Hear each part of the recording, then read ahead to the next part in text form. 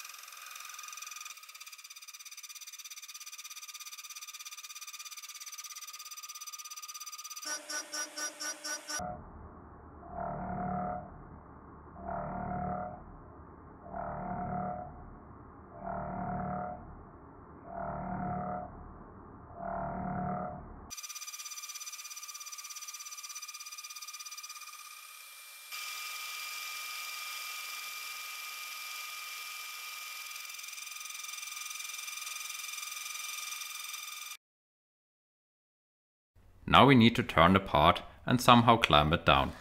For this I machine the negative of the first side and simply glue the part in with some epoxy. This way it is automatically perfectly aligned and well secured. Now we can prepare the second side.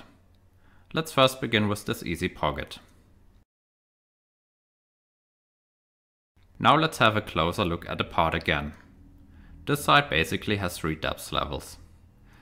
4, 9 and 10.5 millimeter deep. All we need to do is to create appropriate pockets for each level.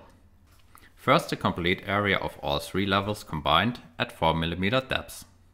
The next is 5 millimeter deep and starts at the bottom of the previous 4 millimeter level. And finally, this one with 1.5 millimeter depth, 9 millimeter below the surface.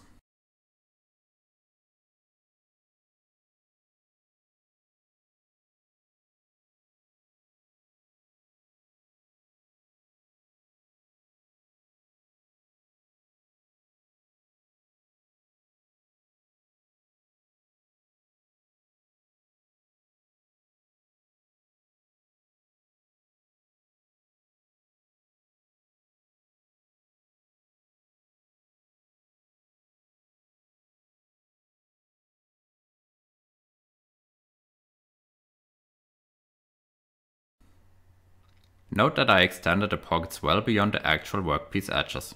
This is important, because if you don't, the tool will not clear all corners correctly and you will also end up with a nasty burr along the edges. Finally, let's add the holes and the remaining pocket.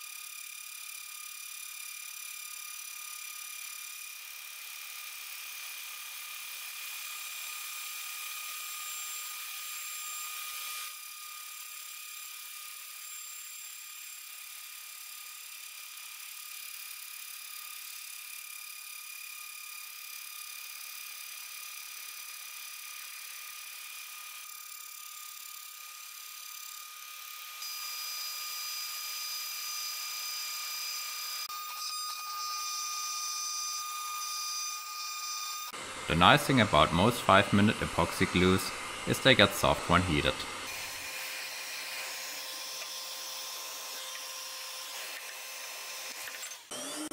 For the final slots, I just put a part into a vise.